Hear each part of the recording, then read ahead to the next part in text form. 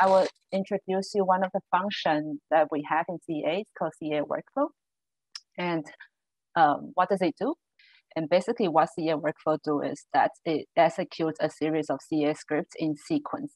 So whenever you feel like you're doing a robot job, you probably should ask a robot to do that job. And now we want to know how can we talk to this robot. So before you were talking to the script through the um, graphical user interface, or we call it the dashboard. That is what you see on the right. And the standard process that you do is you will select the script, you will update the input parameters in, in that script of that script, and then you will execute the script. And the other way you could do it is to do it through our command line interface. We call it the CEA console. And here I will show you examples.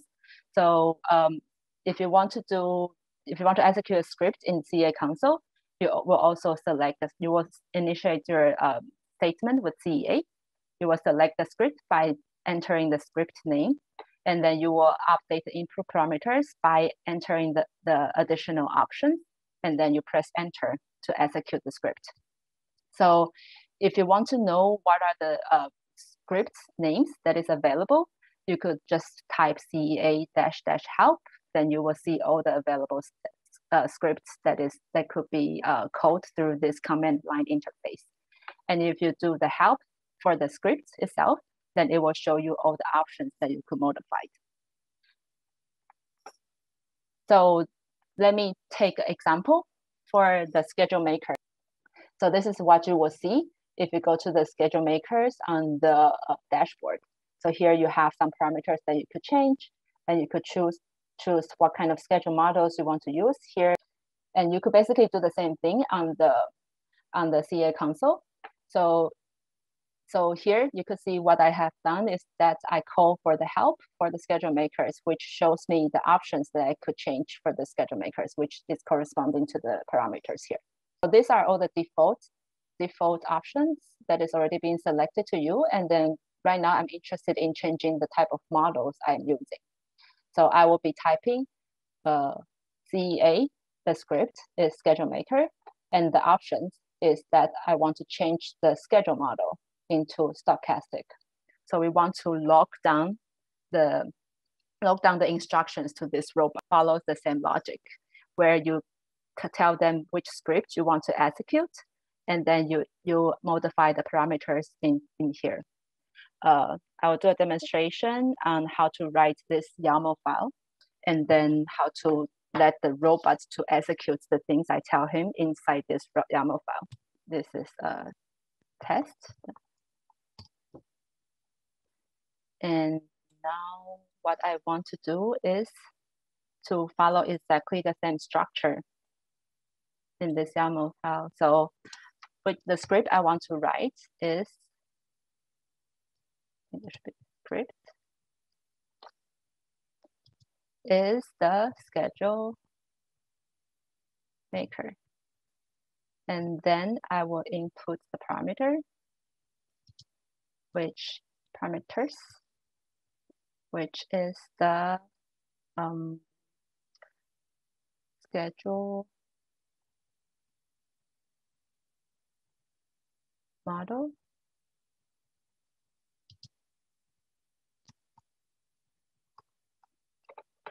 So right now I have a, I have set up a YAML file and I will ask, I will use the CEA workflow tool to tell the robots that it has to go find this instruction and then perform whatever I tell them to do.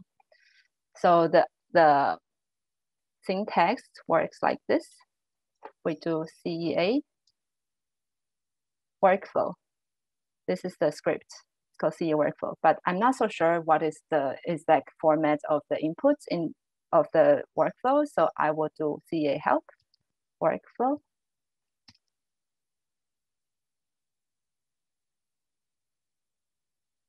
Now I know what are the options that I have. And here, the options that's most important is to point to this file that I just created. So this is this could be done by modifying the workflow parameters. So I will do CEA workflow workflow to this uh, directory where I save the test YAML. And then it should be executing. So this is just recap on what I did. I execute the workflow by pointing to the YAML file that I created. From the simple example, you could also expand it pretty extensively to simulate the energy demands.